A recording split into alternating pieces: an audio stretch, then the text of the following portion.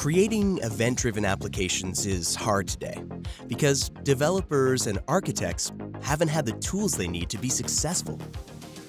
That's why we built this. It's an event portal, which is like an API portal, but for the asynchronous, event driven world. It's a space where developers can design and code event driven microservices faster with step-by-step guidance to create and define relationships between applications, events, and payload schemas.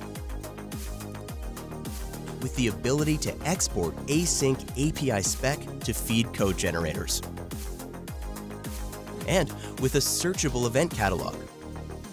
So events and schemas can be promoted, found, used, and reused by different applications across the enterprise. It's even equipped with a flexible discovery agent. So you can ingest events and schemas from any commercial or open source event broker. And so you can, likely for the very first time, visualize and truly understand the choreography of your world. Event Portal is a place where architects and ops managers can go to understand and manage the history and usage and health and security of events in your system and to audit runtimes for design deviations.